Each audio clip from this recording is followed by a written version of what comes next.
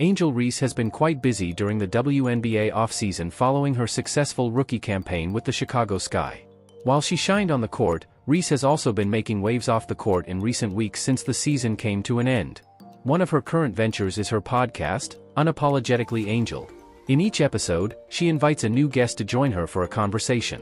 Last week's episode featured none other than Hall of Fame NBA big man Shaquille O'Neal, which attracted significant attention due to some unusual comments he made during their discussion.